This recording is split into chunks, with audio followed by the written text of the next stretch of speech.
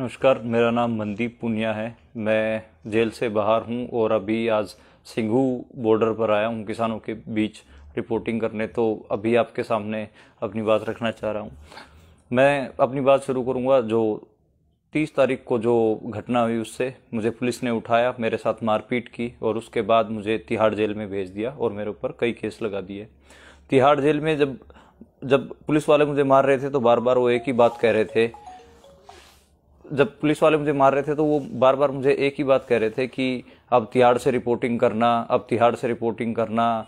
तो अब तो मैं उनको कह रहा था कि मेरे घर वालों से मेरी बात करवा दे। तो वो लगातार अब तो घर वालों से तिहाड़ से ही बात करना। तो तिहाड़ में मुझे भेज दीजिए, भेज दिया गया। वहाँ मैं जाता हूँ तो मैं देखता हूँ कि जो किसान थे, किसान भी वहाँ पर बहुत सारे बंद थे। मुझे जिस बैरक में रखा गया, जिस चक्की में रखा गया, वहाँ भी किसान ही थे। जो मेरे साथ किसान बंद थे जसविंदर सिंह मानसा के। जो पैरो गाँव है, उस उस गाँव के रहने वाले किसान थे मेरे साथ।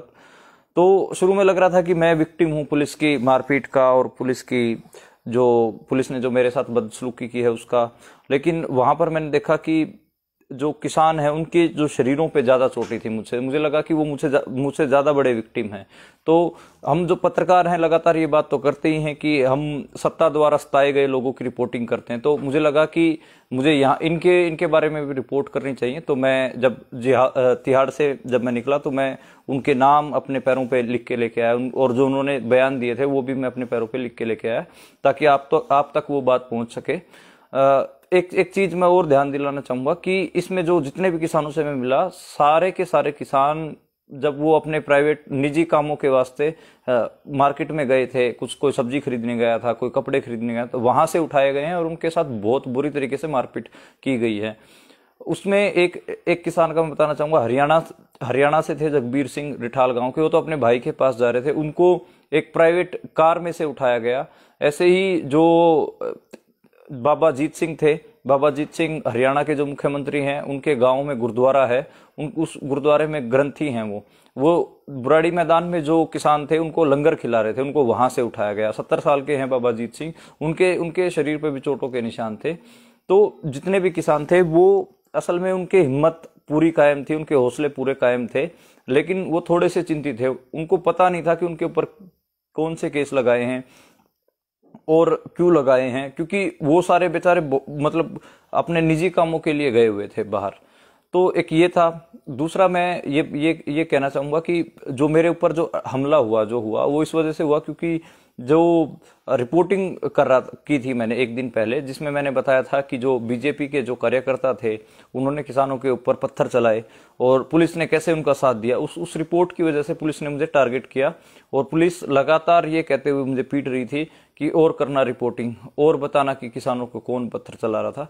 तो बिल्कुल टारगेटेड हमला था। लेकिन अभी मैं ज, जितना लोगों ने साथ दिया पत्रकारों ने साथ दिया और जितने भी किसान थे उन्होंने साथ दिया उस वजह से अब मैं आप, आप, आप लोगों के बीच में हूँ और दोबारा रिपोर्ट कर रहा हूँ। रिपोर्टर का काम ग्राउंड ज़ीरो से रिपोर्ट करना होता है इसलिए आज मैं सिंगू पे आया हूँ दोबारा और मेरा उत्साह दुगना है और मैं लगातार ऐसे ही रिपोर्ट करता रहूँगा। और इसमें मैं एक बात ये कहना चाहूँगा कि जिस सेंसिटिविटी से किसान आंदोलन को कवर करने की ज़रूरत है रिपोर्ट करने की ज़रूरत है उस सेंसिटिविटी से जो छोटे छोटे पत्रकार हैं हमारे जैसे और जो हरियाणा पंजाब के पत्रकार हैं वो बहुत अच्छे से काम कर रहे हैं। नेशनल मीडिया एक तरफ़ जो गोदी मीडिया है वो बत, किसानों को आतंकवादी और खालिस्तानी बता रहा है तो दूसरी तरफ़ पंजाब हरियाणा के पत्रकार और जो जो अल्टरनेटिव मीडिया के पत्रकार हैं वो किसानों के बीच में रह के और किसानों का जो असली पक्ष दिखा रहे हैं। तो एक एक रिपोर्टर के लिए बहुत ज़रूरी है। जब मुझे जेल में ले जाया गया तो मैं और भी जो पत्रकार थे, जो सही रिपोर्टिंग करने की वजह से जेलों में, उनके बारे में मेरे दिमाग में आया। और जो हाथरस केस में जो रिपोर्टिंग करने गए थे कप्पन सिद्दीकी साहब उनको गिरफ़्तार कर लिया गया था। उनके बारे में भी मेरे दिमाग में है। चार महीने से वो जेल में है। तो जितने भी पत्रकार हैं और जितने भी एक्टिविस्ट हैं जो जेलों में बंद हैं, उनको रिहा किया जाना चाहिए। इसी संयुक्त किसान मोर्चे के स्टेज के पास से ही दो जो मजदूर कार्यकर्ता थे, जो इस किसान आंदोलन में शरीक थे, शामिल थे, उनको भी उठाया गया। शिव कुमार और नवदीप कौर। उन दोनों के, उन दोनों के लिए भी जो किसान हैं, वो आवाज़ उठा रहे हैं। उनको भी रिहा किया जाना चाहिए। तो जित ये जो दिल्ली किसान आंदोलन है, इसमें सरकार खुद कह रही है कि उन्होंने 120 के करीब किसानों की गिरफ्तारी की है, और वो गिरफ्तारी के बावजूद वो ये ड्रामा भी कर रही है कि जो हम हमारे दरवाजे बातचीत के लिए खुले हैं ये कैसे दरवाजे खुले हो, होना हो गया कि एक तरफ़ आप किसानों को गिरफ़्तार कर रहे हैं दीवारें ऊँची कर रहे हैं सड़कों के ऊपर कीले लगा रहे हैं सरिये लगा रहे हैं और दूसरी तरफ़ आप कह रहे हैं कि बातचीत के दरवाजे खुले हैं। बातचीत बात, बातचीत के दरवाजे तब खुले मानते हम जो, जो जितने भी किसान थे उनको बाइज्जत भरी किया जाए उनको छोड़ा जाए जेलों से और जो सड़कों के ऊपर इतने बड़े बड़े आपने पत्थर और सरिये लगा दिए उनको हटाया जाए तब बातचीत संभव जब बातचीत हो तो वो वो समझ में आता है। लेकिन सरकार लगातार, जो सत्ता पक्ष है, वो लगातार इस तरीके का ड्रामा कर रही है। वो भी हमारा जो, हम जो पत्रकार हैं, ये जो सत्ता, जो दोहरे, दोहरा चरित्र है, उसको भी हमको लगातार बोलने की ज़रूरत है और लगातार दिखाने की ज़रूरत है। मैं बतौर पत्रकार आगे से किसान आंदोलन से रिपोर्ट करता रहूँगा और उसी सेंसिटिविटी से रिपोर्ट करता रहूँगा। धन्यवाद।